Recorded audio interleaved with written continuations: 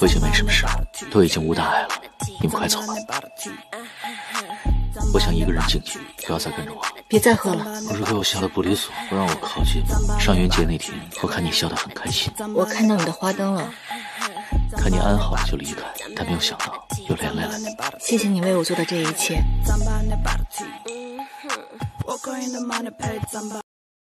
小红书。